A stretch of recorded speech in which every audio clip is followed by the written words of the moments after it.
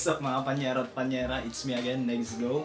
Uh, it's quarantine day. Quarantine time pala. 14 days ako naka-quarantine kasi galing ako Metro Manila at lahat ng umuwi galing Metro Manila is ina-advise na mag home quarantine for 14 days. Malapit na akong graduate mga panyera at panyera. This March tapos na ako. Habang naka-quarantine, marami lang naglalaro sa utak ko kahit wala akong utak. Kahit... Kasi yung utak ko... Bobo!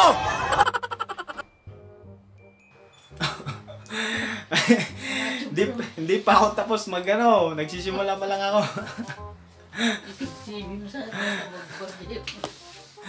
Si Lola, oh. Ay, okay ka Lola. Nagbo-vlog ako eh. Kai, ka naman. Hi! Oh. Kitula din ka. Ayan, si Lola. Ah, nandito kasi ako sa ano, kwarto namin to, pero dito namin siya pinapatulog kasi para solo niya. So ayun nga, bumalik tayo. May mga naglalaro sa utak ko, mga katanungan habang ako ay nakakulong sa bahay. At samahan natin, samahan niyo ako para alamin kung ano yung mga yun. Dame tu cosita, ah, ah. Dame tu cosita,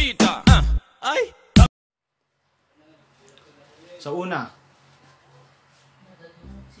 ang pangit ko pala.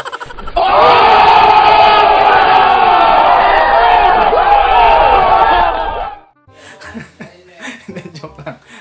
Sa una, nakiki ako ay nakikisimpatya sa mga magulang na kasama ngayon ng kanilang mga anak sa bahay na makukulit at malakas kumain. So, yung panahon na to is oras din para tayo magpataba. It's either tumaba o pumayat.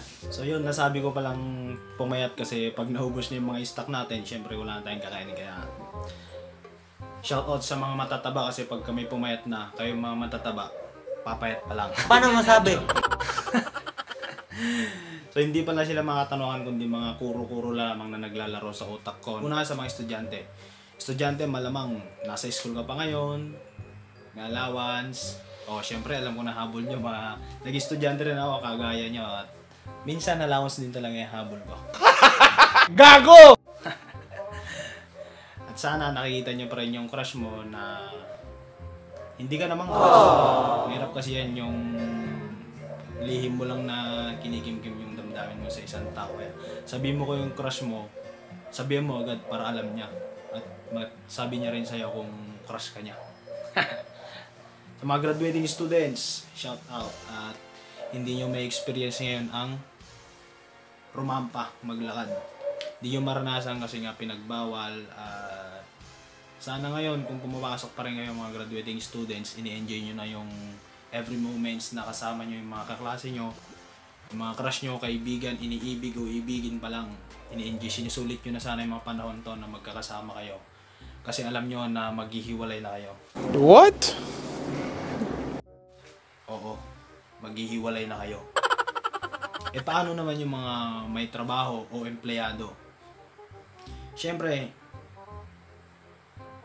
unang-una, yung sahod, pag-usapan ng ta- yung sahod. Sa mga nasa gobyerno, okay lang kasi kahit bakasyon or ano man yan, tuloy pa rin yung sahod nila. Kaya shoutout sa inyo mga nasa government or mga government employees. Eh paano naman yung mga no work no pay? Siyempre sila yung kawawa. Ngayon, ubus na yung perang naipon nila. Saan sila kukuha ng pambili ng pagkain, pantustos sa mga pamilya nila? Di ba? So yun yung masakit sa panahon ngayon. Though kailangan nating mag-taste kasi para din naman do sa sa atin, sarili natin at sa kapakanan din ng ibang tao. Paano naman yung mga kapwa katambay? Yun! Mabuhay! sa mga kapwa ko yung tambay, huwag kayong mag-alala. Kasi wala sa atin mawawala. Boom!